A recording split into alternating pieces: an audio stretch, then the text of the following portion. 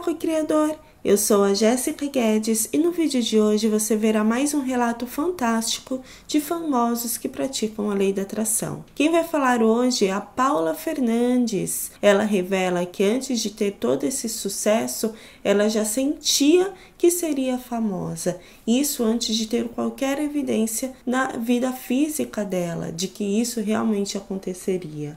Eu gostaria de agradecer a Gáucia Lima por ter indicado o vídeo de hoje através dos comentários do canal.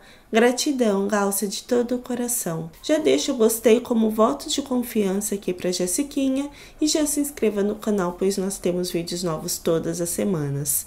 Agora sim, Vamos ao vídeo de hoje. Vamos lá? E ele me tirou dos bares. Porque eu tava, eu tava me acabando. Quando eu gravei meu primeiro disco pela Universal, por exemplo, faltou voz. Eu, eu, eu entendeu? Eu, é, pra quem não sabe o que, que, é isso, é, é uma maratona, de né? De terça a domingo não Exatamente. tinha condições, né? E eu ajudava em casa já, já tinha uma, uma vida, eu tava tratando a depressão. E aí que entra a minha terapeuta e o papo a terapeuta.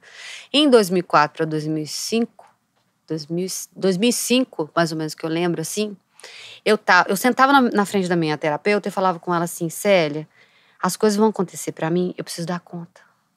Vai acontecer o quê, minha filha? É, tem algum contrato, tá rolando alguma coisa, assim? Não, mas vai acontecer. O que eu faço é muito bem feito. Alguém vai me ver, uma Universal da Vida vai me contratar.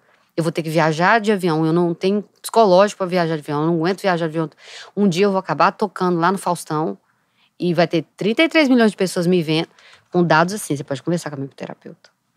Tá, mas você tá. Alguém te procurou? Você tem alguma coisa assim? Mas mais... de onde que vem essa certeza? Você voltou lá atrás dando depressão e não me explicou. Não, é daí. Você acha que é alguma coisa espiritual? Ah, pra assim, mim é de de Deus, certeza, é. Assim? Que eu fiz terapia depois que eu entrei no processo de, né, desse depressão, eu fiz terapia, fui fazendo terapia e eu conversava até que chegar esse momento que eu tava já com o Marcos Viana, já tava tal, e ele falava para mim, tipo assim, olha, é uma aposta, a gente tá tentando te ajudar, mas eu tinha certeza que ia dar certo. Foi aí que veio a certeza.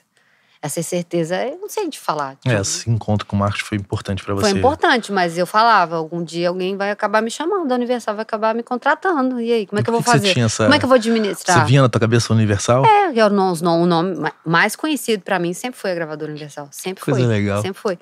E aí você pode sentar com ela e perguntar para ela, ela ficava assustada comigo. E aí ela comentava com a minha mãe. E a minha mãe falava com o Marcos, sabe? Nossa, como é que não vou fazer? Essa menina vai deprimir de novo, porque o ela tá falando aí é quase impossível. Se não é impossível. A gente tá aqui na luta, colocou uma música na novela, não quer dizer que as coisas vão, né? E aí, beleza.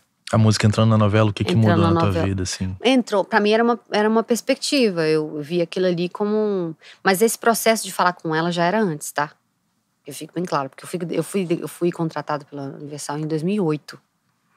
Eu era independente. As coisas não tinham acontecido para mim.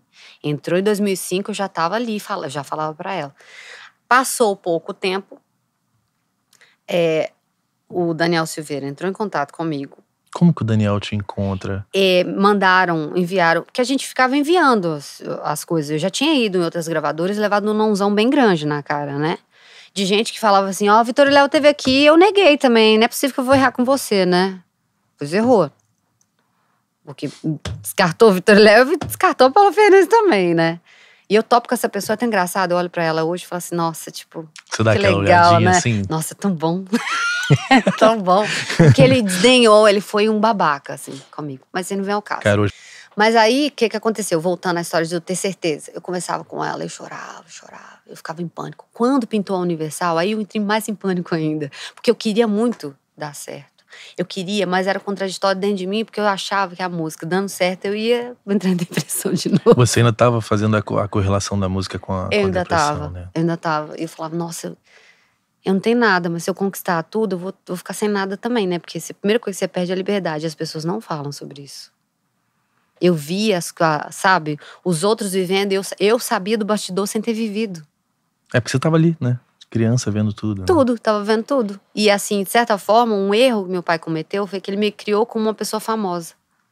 Porque quando, dentro de casa, às vezes eu tinha, sei lá, 10, 11 anos, que alguém ia visitar a gente em casa para me ouvir tocando violão, ele me deixava no quarto e eu, eu tinha um momento de ir na sala para cantar para as pessoas e voltar pro quarto. Você ficava no, no, no backstage. Sempre. Ele me criou assim, ele, ele, ele escrevia tudo que eu ia falar, ele, ele, ele não deixou eu eu ser eu mesmo. Então eu fui um robô até os 18. Isso também me causou depressão. Isso também me trouxe um. Esse... É porque é um limite tênue, né? É, e eu, e eu não era ninguém, eu não, eu não era famosa, ele me tratava como famosa, entendeu? Eu já cheguei a, a tocar uma, uma festa de rodeio, um evento de rodeio, um mês na praia, e ele não deixava eu entrar na água. Com aquela cabeça de gente do interior, que se você entrar na água, você vai gripar, você vai ficar ruim, você vai ficar mal, e aí você não vai conseguir fazer Entendeu? Eu cresci nesse ambiente de extremo é, redoma, assim, né? Desse jeito. Gorro, não pode gripar, porque você não pode gripar. Era isso, entendeu? Então isso me, me deu uma pirada também, mas é o jeito que ele sabia. Tanto é que eu não gripei. então sempre pecava para exercitar.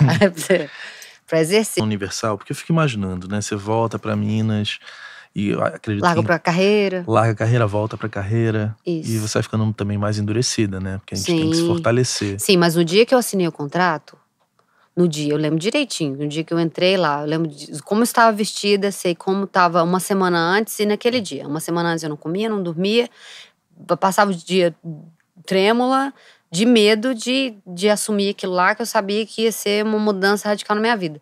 E nem todo mundo que faz um contrato com a gravadora dá certo, você não acha? Só que eu sabia que ia dar certo. Você sabia o tempo inteiro? Eu sabia o tempo inteiro. E no dia que eu assinei, nunca mais eu tive medo. Você lembra a roupa que você tava? Tava uma calça jeans, uma botina dessas botas de cowboy assim, com uma camisa branca que tinha uns babadinhos assim e cabelo anelado. É sempre que, que eu usava. Saí de lá outra pessoa. E aí, co-criador? Muito inspirador o relato de hoje, não é? Você já sabia dessa história? Já sabia que a Paula Fernandes, de forma inconsciente, manifestou a realidade dela? Escreve aí nos comentários que eu vou amar saber. Lembrando que eu vou deixar o link para o podcast completo aí no comentário e que nós também temos um aplicativo sobre lei da atração aí na Play Store.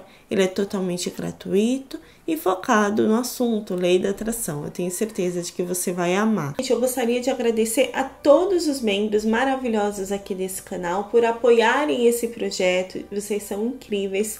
Muito, muito, muito obrigada pelo voto de confiança. Eu vou deixar também aí na descrição, o primeiro comentário fixado, o link para o teste numerológico gratuito. Se você gosta de numerologia e autoconhecimento, provavelmente vai gostar de fazer esse teste. Eu agradeço de todo o meu coração por você ter assistido até aqui. Um super, hiper, ultra, mega beijo e tchau, tchau.